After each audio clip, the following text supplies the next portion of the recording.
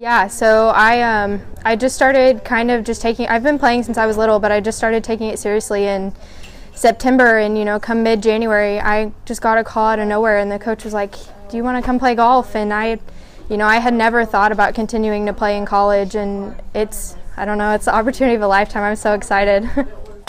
you know, I've grown up around Oklahoma State. Um, so I've grown up around golf my whole life and I knew that I really wanted to continue playing just wherever I got the opportunity. And you know, Oklahoma City is a great school, and they the men's team just won the national championship, so they they have a good golf program. And it it honestly wasn't a tough decision for me. I, I knew that I wanted to play wherever I got the opportunity.